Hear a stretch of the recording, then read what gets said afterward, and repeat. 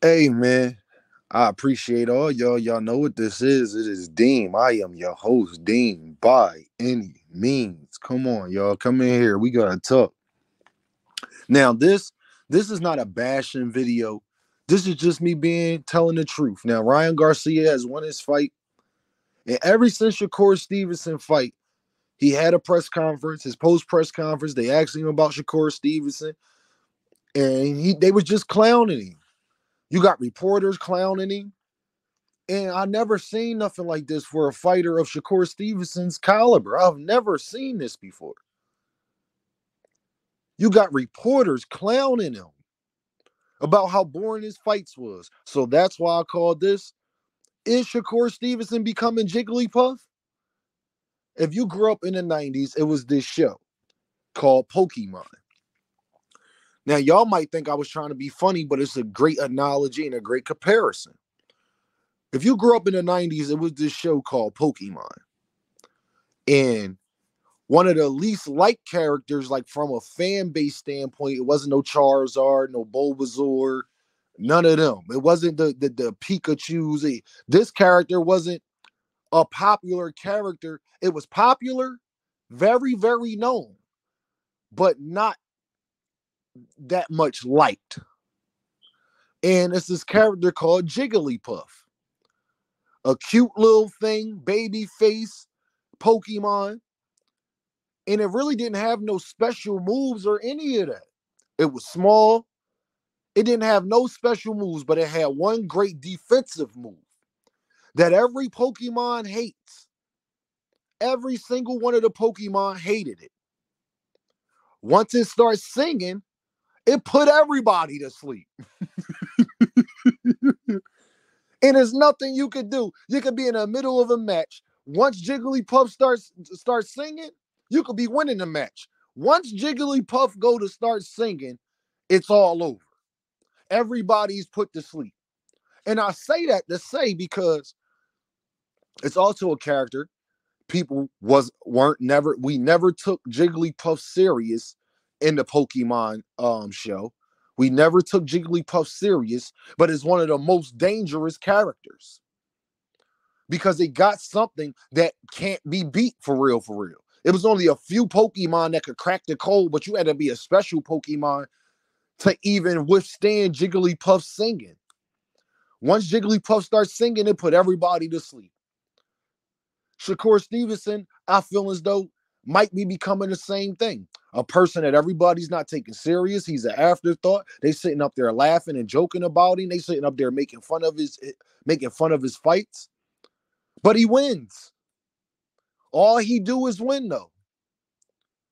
And when he start fighting, just like Jigglypuff, when they start singing, he gonna win. But he putting everybody to sleep while doing it. And Shakur Stevenson, that is not what I want for you, my brother. I believe you're one of the best fighters I ever laid my eyes on. I believe you got a lot. I believe you got a lot more dog than you showed. But this is what you becoming, my dog. And it's not me. Don't don't kill the messenger. I'm telling you, every boxer, everybody that I have seen that has had an interview on you is either disappointed but still trying to like uplift you, or they just clowning you all the way. And that's what happens when you become a polarizing figure. You be running your mouth. You talk like you the baddest man on the planet, and to a certain extent, you is because you got a style of fighting that's hard to beat, just like Jigglypuff. You got a style of fighting that's damn near impossible to beat, but it's putting everybody to sleep. And I don't want that for you, my guy, because that's not how you sell tickets. Every day that go by, every fight card that happened, if this heavyweight fight card and it's a bunch of knockouts, this Devin Haney and Regis Prograis fight be very entertaining, like this um, Ryan Garcia and Duarte fight was, it's going to get worse and worse and worse. It's going to get worse and worse and worse. So I didn't compare Shakur Stevenson to be funny. I compare Shakur Stevenson to Jigglypuff because that is a real comparison. If you really dive in it, though, one of the most powerful characters because it got a move that's damn near impossible to stop. And once it happens, there's nothing you could do about it if you can't crack the code. It's just the point is that it's going to put everybody to sleep. It's not enjoyable to watch. Everybody sleep. I never seen somebody win but lose so much. I never seen somebody win but lose what Shakur Stevenson has lost. Shakur Stevenson lost. Shakur Stevenson has lost more than Ryan Garcia lost when he fought Ryan um, Tank Davis, and he actually took a loss though. So Shakur, man, you got to bounce back with your next fight, my guy. You got to put somebody down, you got to knock somebody out, or you got to just beat somebody all to hell. You got to, my guy, because it's not looking too good out here for you from a PR standpoint, a media standpoint, YouTube standpoint, even matchmaking standpoint from your promotional companies and people who got to put money behind you because they hear and seeing all this stuff too. And it does matter. That's why I'm making this video because it does matter. Because Bob Arum and all of them, when they see people saying they're not willing to pay for a fight, guess what? Then they not willing to put the money up to make big fights happen for you because they're not sure that they're going to get their money back. And that's just the, you know, that's just the price of tea in China, man. That's just the price of tea in China. And that's something that you got to realize because this is prize fighting and that always come first. You got to entertain the people. This is entertainment. People don't buy it to not be entertained. It's the same reason why Jigglypuff was one of the least liked characters in Pokemon. It was one of the more boring characters. It could win damn near every fight. People, it was so crazy that in Pokemon, people avoided Jigglypuff. When Jigglypuff got mad, everybody started getting frantic, like, oh, snap. Like, all right, you don't want Jigglypuff, man. They gonna listen. You don't want to become that, Shakur Stevenson, where everybody, where you're so deadly at what you do, at running, at, at your defense, and you're not going to get hit, that nobody wants to go near you. So I didn't make this video to play you. I made it because it's a great analysis on what is happening in you right now at this moment. And that's my job as a content creator to come with a creative content creator. You hear that word creator. You can't never put that past anything, Shakur, the same way you can't put this is prize fighting. This is entertainment. As a content creator, it's my job to dive in deep to bring something different to the content that I'm talking about because I'm not the only one speaking on boxing to get people to click that button and listen to what I got to say and do it in a creative way. So that's not me trying to play you, my guy. That's me actually being honest and comparing you to something that was the same in the same exact situation and with the same exact skill set. You don't want to become that, my guy. And that's why I put the question mark. Is you becoming that? Because that don't mean that you will be that. And I believe that you will put on and you will give us more entertaining fights. And this is only temporary. But Shakur, it has to be temporary, my guy. It has to be, bro. Listen here, I listen here, Shakur. It has to be, little bro because you cannot afford to have another performance like you had, especially against a bigger name. It's going to, you think it's bad now. If it happens against a bigger name, it's going to be five times worse because not only will they make one or two videos about you now they're going to make five about it. And it's going to be whole panels and everybody talking about just you and your performance. You won and everybody was talking about how disappointed they was. That's something you never want. That's something you never want my guy. It's Isaac Cruz got more respect than you got for losing than you got for winning when he fought Gervonta Davis. This is something that you never want, and this is spot in boxing you never wanted to be at because this is a one-on-one sport. People are paying to see you. People gotta want to see you. And no matter how good you are, if people are not interested in you and they do not want to see you, then Shakur Stevenson, this is battle rapper called Chilla Jones. Got a great pen, can write the whole nine, but one of his things that he suffered from is that he's so good with the pen that he's not entertaining, and people didn't battle him because at the end of the day, people gotta like what you're saying and be entertained by it. What you're saying technically could be hot, but if you're not delivering it the right way, your message is not getting across the right way neither. That matters too. This is entertainment.